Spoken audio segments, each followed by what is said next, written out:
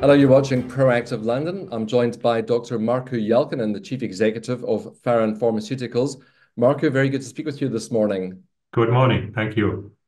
So, Markku, you've released analysis of data using your immunotherapy and chemotherapy on cancer patients, and it, it looks pretty encouraging. Well, if I take a moment also go back to uh, in December, we noticed that we have a significant response rate in our Uh, patients who have uh, acute myeloid leukemia or the differentiated form, which is called MDS. And within the MDS, the response rate is 100%, which is rather amazing.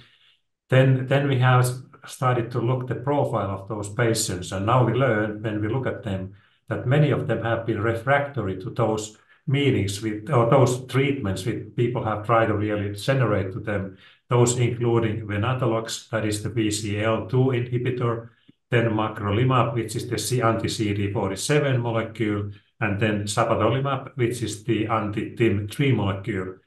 Pretty much what there is besides bexmarilimab. And if we get the response also on those patients who have been previously treated with these treatments, I think that this is really getting extremely interesting. Um, so, so I mean, what was the response to the treatment as you expected it to be, Markku? It's really to make the blast cells to disappear, the cancer cells from these patients, and they go into the complete uh, remission. And this uh, is a very uh, significant change in the profile of these patients, thinking that that has not been possible to achieve previously. Maybe temporarily, but often then the treatment is relapsed, and then the cancer cells are starting to proliferate again. And as you may recall, this type of the cancer, these myeloid malignancies, they are very aggressive conditions, and the anticipate life expectancy is only maybe two months, uh, two, two years fr from the observation of the blast cells in the circulation. Uh, Markku, this is the second phase of the, the BEXMAB trial. Can you take us through how the trial was composed?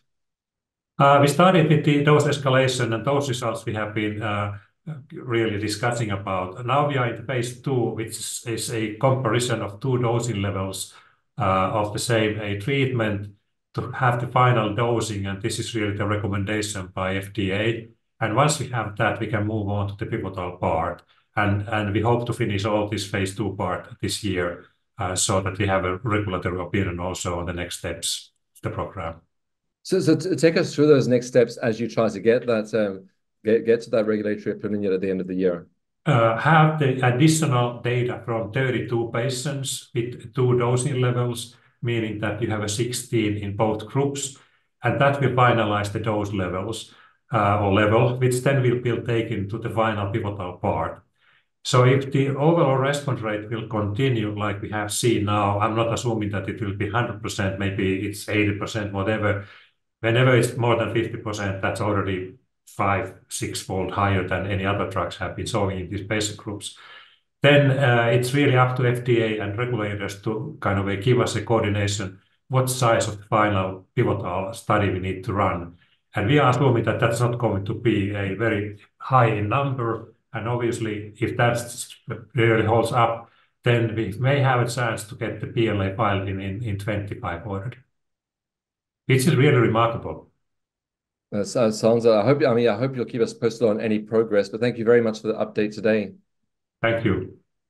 That's Dr. Markku Jalkanen, Chief Executive of Faron Pharmaceuticals.